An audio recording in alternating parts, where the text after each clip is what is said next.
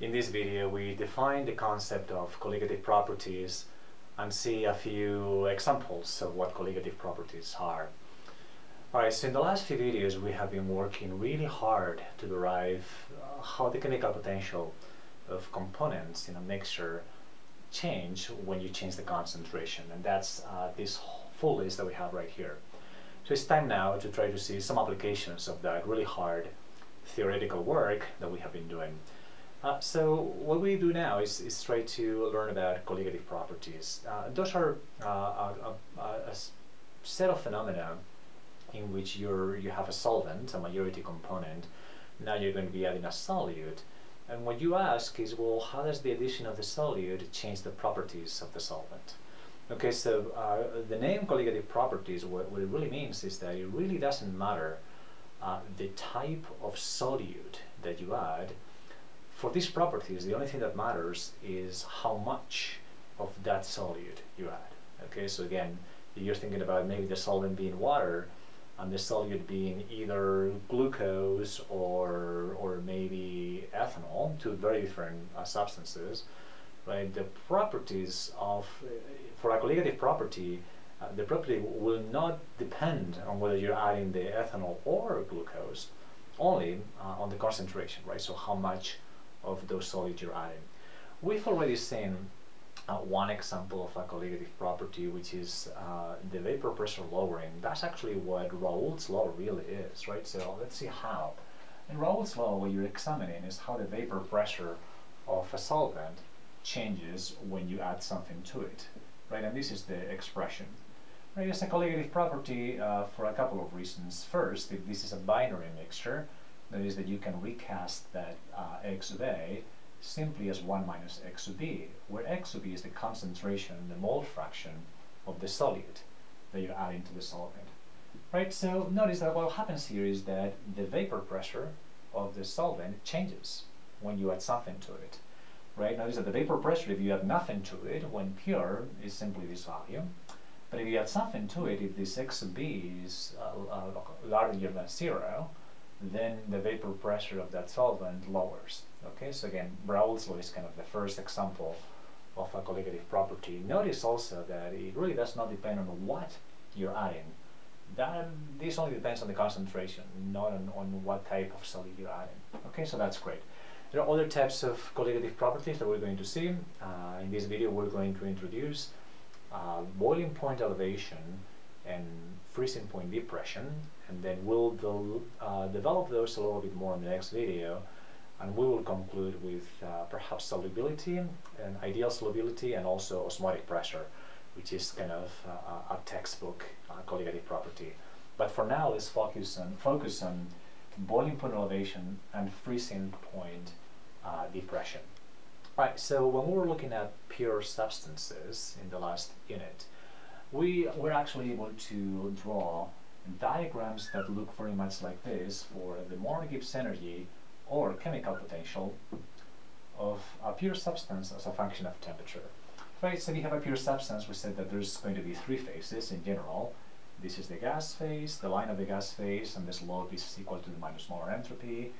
This will be the line of the liquid phase, and then this will be the line of the solid phase.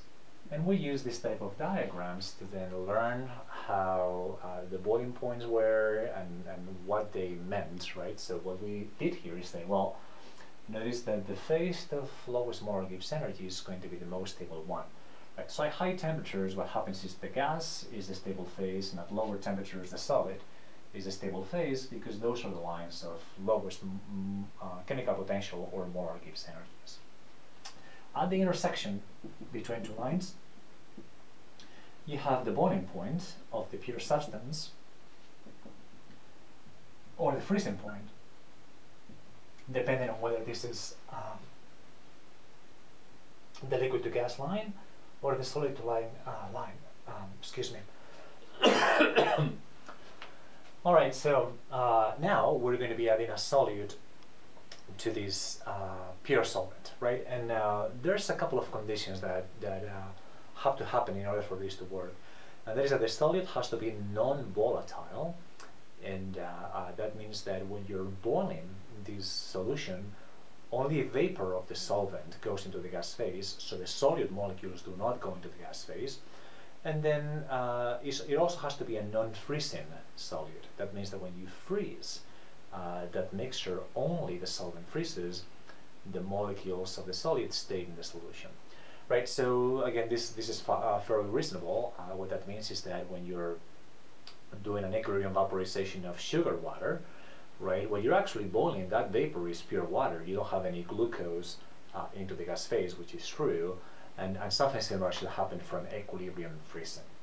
Okay, well, if that is the case, right, if this solute is non-volatile and non-freezing, what that happens is that when you mix uh, the, the solvent with the solute, then the lines of the gas and of the solid will not change because that's still the pure solvent.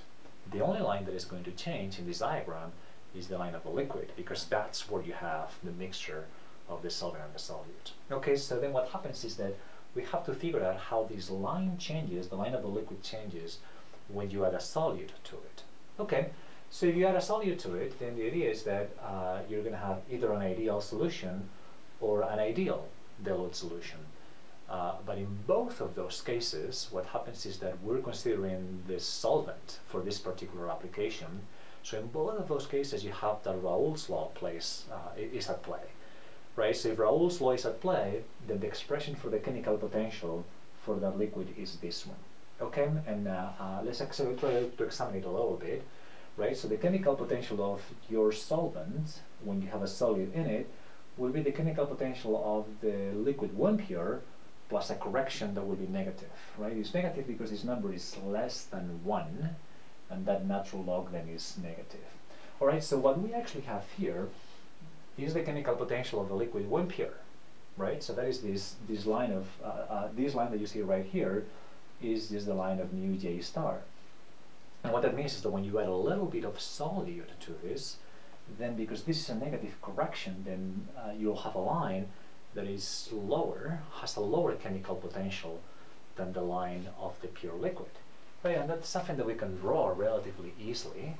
Right, we can actually say that in reality what you're going to have is a line uh, that falls below the line of the pure liquid. Right, so that is the line of the liquid in the solution